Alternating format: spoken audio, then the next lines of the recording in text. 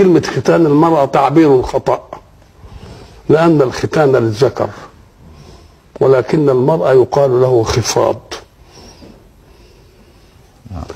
كلمة خفاض تدي إننا ما بنقطعش ال بنخفضه عن إنه ما يطلعش بره عن الشطر ليه؟ لأن ده محل الإهاجات في المرأة. فإذا علا عن الشطر كده طالع شوية السوبن جه كده تتحرك شهوتها. فتظل مربوطة بالرجل عينها منه. تبقى هلوك. يفقدها كرامتها عند الرجل.